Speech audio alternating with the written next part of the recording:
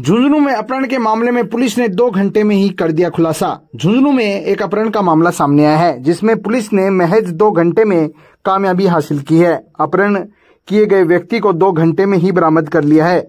वो भी सकुशल। हालाँकि पुलिस पकड़ में आरोपी नहीं आ पाए हैं, जिनकी तलाश पुलिस की ओर से की जा रही है। अब घटना के बारे में आपको बताते हैं कि अगरसेन सर्किल झुंझुनू में एक व्यक्ति को अज्ञात लोगों ने ज़बरदस्ती गाड़ी में डालकर ले गए थे।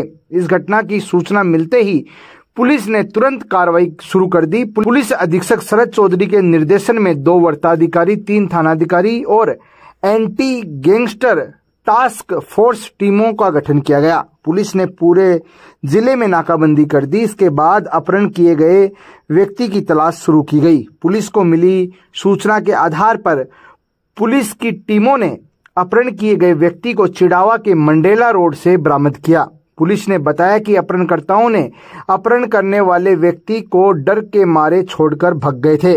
आरोपियों की पहचान करने की कोशिश पुलिस कर रही है, पुलिस उसके प्रयास कर रही है।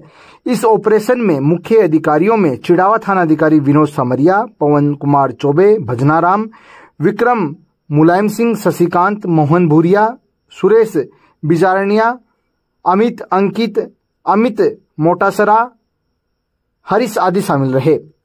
इनमें से विक्रम और बाबूलाल का विशेष सहयोग रहा। पुलिस अधीक्षक शरद चौधरी ने बताया कि पुलिस ने इस मामले को गंभीरता से लिया और तुरंत कार्रवाई की है। उन्होंने बताया कि पुलिस अपहरणकर्ताओं की तलाश में जुटी हुई है और जल्द ही उन्हें गिरफ़्तार कर लिया जाएगा।